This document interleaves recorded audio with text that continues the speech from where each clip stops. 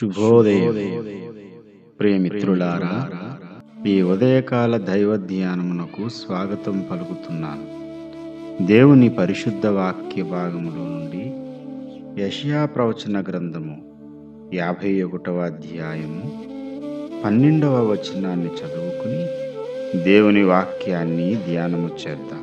నేను నేనే మిమ్ము నోదార్చువాడు చనిపోవు నరునికి తృణమాత్రుడగు నరునికి ఎందుకు భయపడుదు దేవుడి పరిశుద్ధ వాక్య భాగమును మన వెనికిడిలో ఆశీర్వదించునుగాక. ఆమె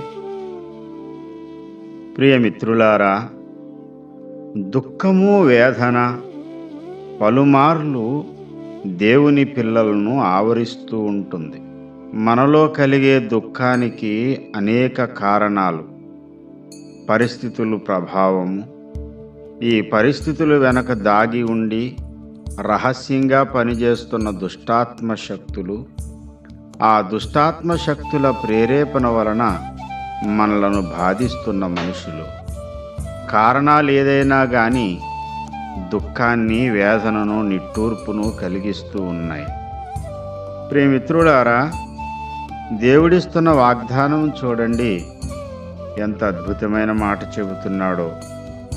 యహోవా విమోచించిన వారు సంగీతనాదముతో సియోనుకు తిరిగి వచ్చెదరు. నిత్య సంతోషము వారి తలల మీద ఉండును. వారు సంతోషానందము గలవారగుదురు. దుఃఖమును నిట్టూర్పును తొలగిపోవును. ఆహా ప్రభు ఎంత చక్కని వాగ్దానమిస్తున్నాడో చూడండి.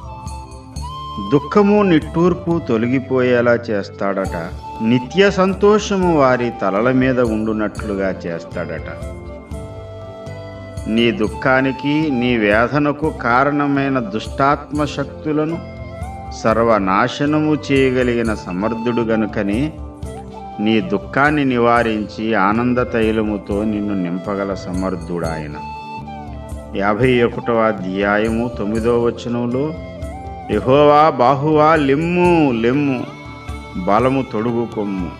పూర్వపు కాలములలోనూ పురాతన తరములలోనూ లేచినట్లు లెమ్ము. రాహాబును తుత్తునీయులుగా నరికివేసినవాడు నీవే కదా. మకరమును పొడిచినవాడు నీవే కదా. ప్రియమిత్రులారా ఎవరి మకరము ఎవరి రాహాబు.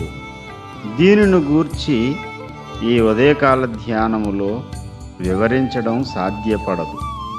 డాక్టర్ అద్దంకి రంజిత్ ఓఫీర్ గారు విశ్వచరిత్ర అనే గ్రంథంలో ఈ విషయాలు ఎంతో వివరణాత్మకంగా రాశారు. తప్పకుండా చదవండి.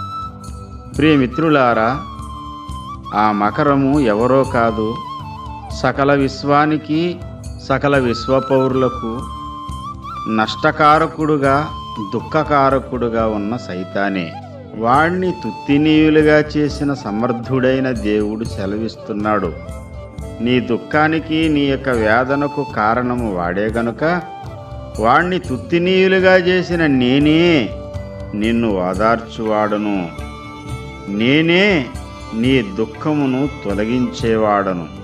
ప్రియమిత్రులారా నీ సమస్యలన్నిటికీ ఎవరో మనుషులు కారణము పరిస్థితుల ప్రభావం అని అనుకుంటున్నావు.